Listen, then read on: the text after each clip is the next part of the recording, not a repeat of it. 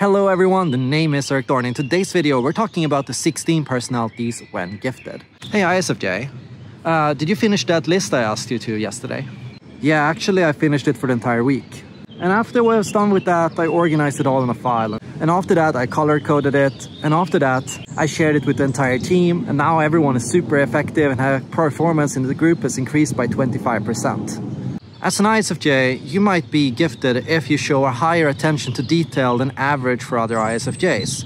Perhaps you find yourself more attentive to nuance, more able to spot nuances in music and in songs and emotions in other people. Perhaps you're better able to convey through words what it is that you feel and what it is that you mean in a way that will make other people understand what you say. Perhaps you'll notice that you show an ability, an unusually high ability to navigate or organize your environment and the sensory that's happening around you.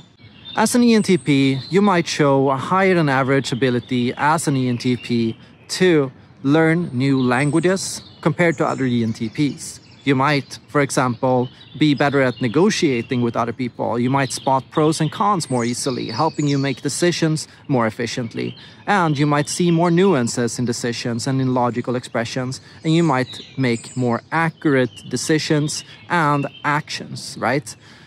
Besides that, you might see that uh, you show higher than average creativity for an ENTP and a higher ability not just to have and think of options, but also a higher ability to act on options and spot nearby possible and likely scenarios, right? Now, as an ESFP, you might see that you are and show a higher awareness to your environment than what is average. You notice and spot things around you that other people miss. You seem to have eyes in the back of your head. You seem to hear and notice sounds around you before anyone else spots them. And you, beyond that, show a higher capacity to act on instinct in the moment to respond to that situation. You're faster, your instincts are faster, and you're more attuned to your body. You know what different signals in your body mean, and you show a higher than average motor coordination, allowing you to learn athletic tasks more quickly and learning to, to you know, and beyond just your body, you might feel and notice aspects and nuances in your feelings and what it is that you want and what it is that you feel. And you might know exactly what color or exactly what thing you want to wear tomorrow and exactly how you want something to look and exactly how to express nuances of how you feel in the moment and to manage your own emotions more effectively. Now, as an INTJ, something you might notice when you're gifted is Compared to other INTJs, you show higher time frames of thinking. You think further into the future and you consider more scenarios. You show a higher strategic capability than average for an INTJ. An ability to not just come up with plans, but also to come up with realistic and likely plans and uh, plans that have a higher frequency of success, right? And beyond that, as an ISTJ, or sorry, an INTJ, and beyond that, as an INTJ, you might show a higher capacity to philosophize and to come up with theories about what's happening around you. You show a stronger theory of mind in a sense that you show a higher capacity to understand and explain things that are happening around you, right? Now imagine that you're an INFP. As an INFP who is gifted, you might notice that you can more accurately explain what it is that you are feeling and what words or what language or what phrases or what things or symbols or images best correspond to those emotions. And you might better know what to do with your emotions and how to act on them and how to express them to the outer world. And beyond that, you might show a higher capacity than is usual for INFPs to not just come up with options, but to come up with likely options, you know, things that could actually happen. And to be able to sift through and know when it is that something might happen or when it's an unlikely or impossible scenario, right? And on top of that, as an INFP is gifted, you might show a higher theoretical inclination. You might be and show more academic interest. You might show an interest in deeper studies and more nuanced and complex topics. Where you're a gifted INFP, you show a higher capacity to study for a longer period of time and a higher amount of focus in that activity, right? And say you're an ESTJ. When you're an ESTJ is gifted, you're gonna not just be more productive than other ESTJs, You know, as an ESTJ, how to produce things that actually give results, things that actually help you develop and improve the quality of your life. And beyond that, as an ESTJ who's gifted, you show a stronger logistical awareness. You know how to navigate different situations. You know how to make backup plans. You know how to prepare ahead of an activity. You know what you need to do depending on what the other person does. And you know, on top of that, what is happening at your workplace or in your environment or who's in there, what their names are, what they do, and how you can navigate and work with them as a team player. And now, as an ENFP, you might show a more exceptional range of creativity. You might have more unusual ideas than what is normal for an ENFP. And you show a higher capacity to not just have ideas, but to act on them. And beyond that, as an ENFP who's gifted, you tend to show an exceptional capacity and interest for language, right? Which means that you not only enjoy hearing and learning about new languages, but you learn languages faster than what's normal for an ENFP. And you find it easier to learn new subjects at all. Your capacity for learning in school and in different subjects is above average for an ENFP. And beyond that, your capacity for retaining the things that you learn is really high too. And beyond that, as an ENFP, you're better with people than what is normal for other ENFPs. You know how to talk and have fun conversations with other people. Hi. and now imagine that you're an ISTJ, right? If you're an ISTJ who's gifted, what you're gonna find is you can not just uh, spend an amazing amount of focus and concentration on a task, but you can do it amazingly well, right? So the quality of the things that you do and how you do it is exceptionally well thought out. So imagine you're given a task. As an ISTJ who's gifted, you're better at not just coming up with how to do that task, but also what you're going to need to complete that task in terms of resources and how much time it's going to take to do, and how to make sure that you do that task as effectively as possible, avoiding to waste your time and avoiding to do things that won't work, and focusing on tried and true strategies and so beyond that as an ISTJ, you're gonna have more tried and true strategies than what is normal for an ISTJ. And as an ESTP, something you're gonna notice as an ESTP is on average, as an ESTP, you show a higher capacity to improvise and adapt and overcome challenges around you. So if there's problems, you don't see problems, you see options and solutions to fix them, right? So you're a problem solver and you're a person that can solve problems faster than most people. And when most people freak out and think, oh my God, how are we gonna solve that? You know how to jump straight into action and how to get it done. Compared to other ESTPs, you're faster, you adapt quicker, and you think of solutions faster than what's normal for ESTPs, right?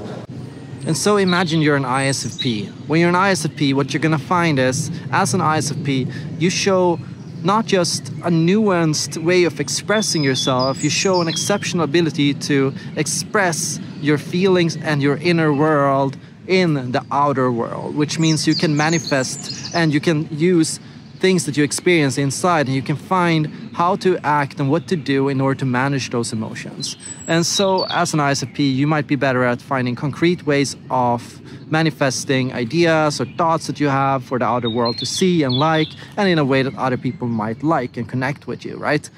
And so you might become like a light post. You might show an unusually high level of individualism. You might show an unusually high amount of energy in the things that you do, and you might show an unusually high level of focus and attention when you are engaged with a task. So the things that you create, the things that you draw, the things that you write, the things that you make are in general more beautiful than what's normal for an ISFP. And how you make them and how you put yourself into things is more nuanced, has higher levels of quality, and shows your feelings and your individuality more than what is normal. And so imagine you're an ENTJ, right?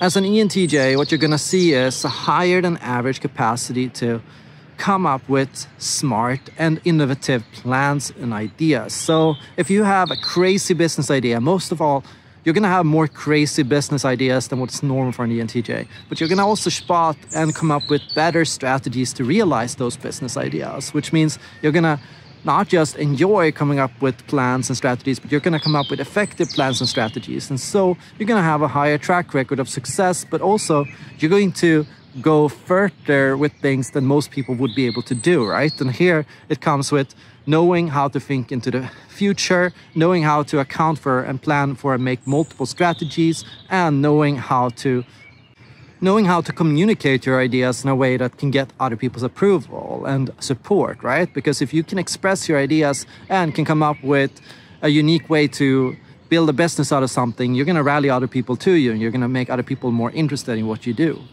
And so imagine that you're an ISTP, right?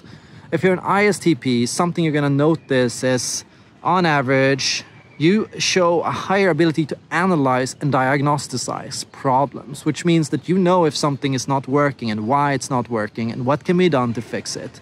You know how things should work and how things might look. You can see how and what parts constitute a whole and how each of those parts work together in a synchronized way, right?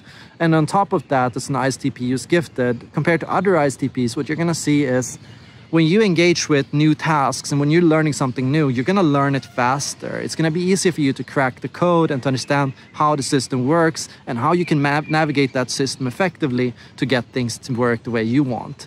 And that also makes you a more gifted problem solver. And so imagine you're an ESFJ. And if you're an ESFJ, something you're gonna notice is you're better with people. You're a more natural speaker, you're more charismatic, you're better at getting out people on your side, and you're better at managing the emotions around you. So if somebody is upset, you know what to say. And compared to other ESFJs, you know how to manage those emotions more effectively.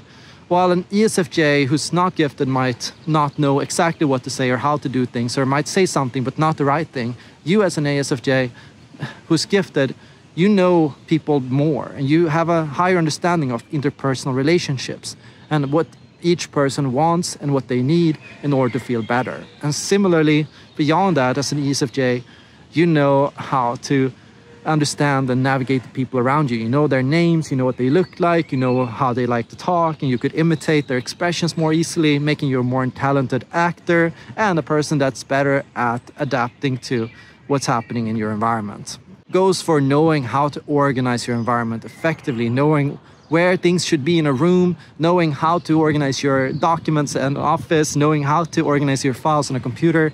Like these skills are going to be higher than average for an ESFJ. And finally, if you're an INFJ who's more gifted than average, compared to other INFJs, what you're going to see is you go deeper in the theories that you formulate. You go and you study harder and you put more focus into these theories. You spend longer times on them and you show a higher amount of intensity when working on these theories and ideas.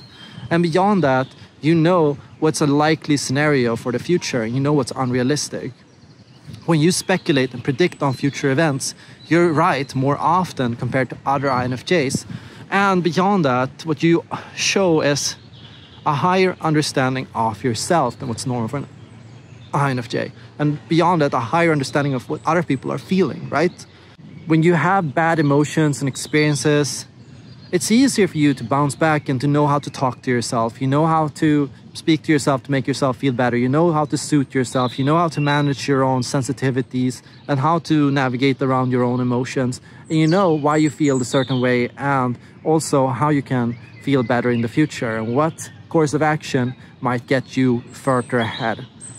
And similarly, if you're an INTP, just like the INFJ, you're going to show more academic interests, you're going to go deeper into theories, you're going to spend a lot more time speculating and guessing on what could happen next.